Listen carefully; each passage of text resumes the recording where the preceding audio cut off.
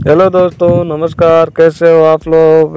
तो आज हम बात करने वाले हैं येलो एक्साइड पेंट के बारे में। किस तरह से मिलाया जाता है, किस तरह से किया जाता है। इस वीडियो में आज हम आपको पूरी जानकारी देंगे। लास्ट तक वीडियो पूरा देखिए दोस्तों।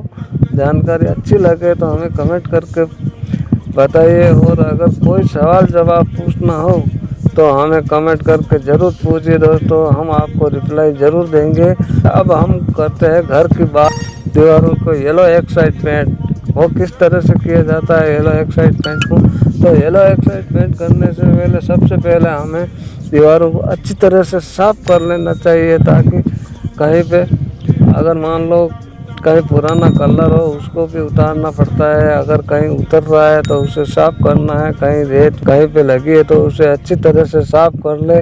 साफ़ करने के बाद में दोस्तों, जहाँ भी छेद, खड्डे दिखाई देता है, वहाँ पुट्टी या सीमेंट ज़रूर येलो एक्साइड पेंट को किस तरह से मिलाया जाता है तो इसको आप दुकान पे जाके मशीन से भी मिला सकते हैं या अपने हाथ से भी मिला सकते हैं। तो आपको जो भी कलर पसंद है येलो एक्साइड के बारे में। तो येलो एक्साइड का कलर तो कई प्रकार का तो इसलिए आज आपको कोड नंबर दुकान को जाके बता देना, वो आपको मिला के अपना आप दे देगा।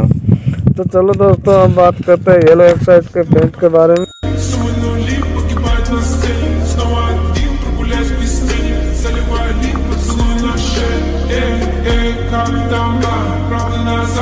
आसानी से इसे पहचान सके। येलो एक्साइड पेंट जो घर के बाहर उज्जवल पीले कलर से बड़े पैमाने पर दिखाते हैं। ये कलर दूर से भी दिखता है। सभी प्रकार की भावनाओं को प्रगत में आपकी मदद कर सकता है। हालाँकि ये एक गोल्ड रंग की तरह दिखता है। ये आपके घर के बाहर डिज़ाइन के साथ भी मेल खाता है। अगर आप इस रंग को दिखावे का आनंद लेना चाहते हैं तो येलो एक्साइड पेंट करें। येलो एक्साइड पेंट कलर का उपयोग आपके घर की वास्तु शास्त्र के अनुसार भी किया जा सकता है।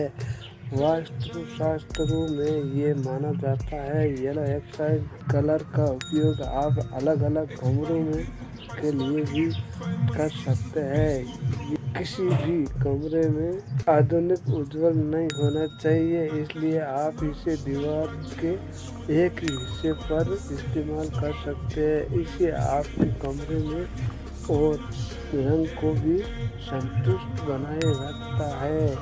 ये बच्चों के लिए भी फेवरेट कलर माना जाता है। कई लोगों को पसंद भी आता है। तो येलो एक्साइड पेंट एक प्रकार का होता है, जो आमतौर पर घर के बाहरी दीवारों पर दरवाजों पर लगाया जाता है। इसे एक्साइड पेंट के नाम से भी जाना जाता है, क्योंकि ये आपके घर के बाहरी हिस्सों को सुंदरता और शानदार से सजाता है। ये पेंट आमतौर पर लंबे समय तक टिका रहता है और धूप, बारिश और अन्य मौसम परिवर्तनों के असर नहीं पड़ता है। इसके साथ ही ये लंबे समय तक सजीव रंगों का चयन करने की सुविधा भी देता है। येलो एक्साइड पेंट के उपयोग से आप अपने घर को एक आकर्षक और स्वस्थ लुक दे सकते हैं। इसके अलावा इस पेंट पेंट को उस, उन जगहों पर लगाया जा सकता है जहाँ बारिश, धूप और धुएँ के कारण अन्य पेंट टिक नहीं पाते। एक बार जब जब ये पेंट आपके घर के बाहरी दीवार पर लग जाता है तो इसे बार बार विज़िट करने की आवश्यकता नहीं है। ये एक मज़बूत पेंट होता है, जो जलने, फटने और चिपकने के लिए बनाया जाता है। घर की सुंदरता और लंबी उम्र दोनों के लिए अच्छी तरह होते हैं। के अतिरिक्त उद्योग के बारे में इस, इसमें आप देखेंगे कि कैसे आप अपने घर के बाहरी दीवारों को येलो एक्साइड पेंट से रंग सकते हैं। जो आपके घर को सुंदर, सुंदरता को दोगुना